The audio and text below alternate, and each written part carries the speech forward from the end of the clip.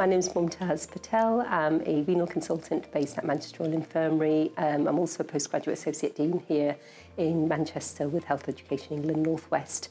And I also work at the Royal College of Physicians as clinical lead of quality.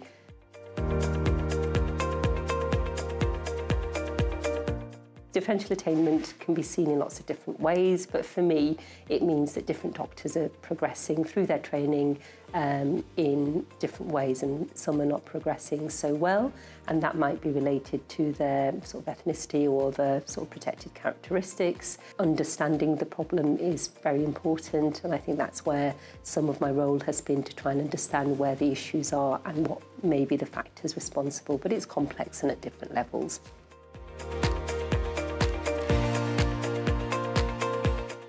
When I was um, sort of training program director for renal medicine a few years back, um, I had a number of trainees who you sort of um, identified or had been in difficulty for different reasons, different backgrounds.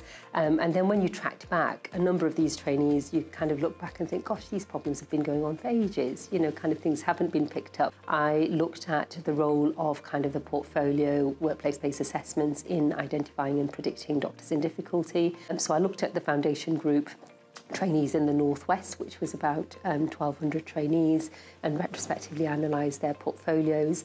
And we found that the uh, educational supervisor reports were key, as well as the multi-source feedback. But overall quality of what was put down in you know, the portfolio was an issue.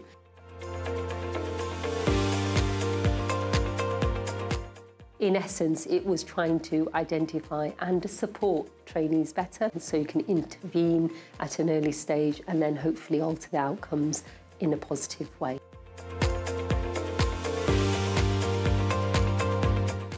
Think things interrelate.